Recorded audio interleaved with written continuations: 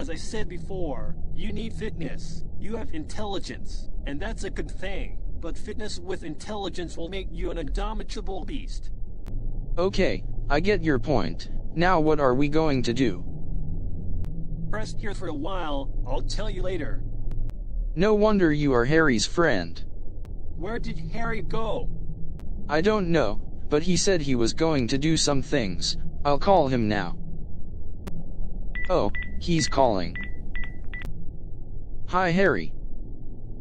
Hello, sir. Harry is now in intensive care, and his condition is critical. What happened? He got run over. He wants you, and he told me to call you to come now. Okay, I will come now.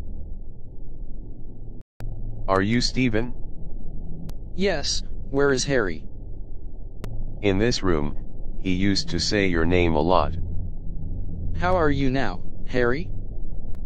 As you can see, it looks like an insect that has been run over. Don't worry, you will heal, and come back better than before. I don't think so. I'm in the end old anyway. I want you to struggle to achieve your dream, and mine too. Win the cup, be the hero. If a new age is written for me, I will be happy with that. I promise that, I will win the cup and bring it to you. You are resting now and I will visit you from time to time, until the meeting. Do you think I will win?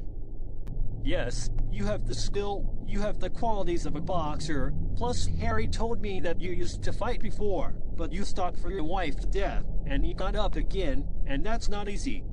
Your words are encouraging. I will do everything in my power to make Harry proud of me, and make his dream come true. Did you do what I told you?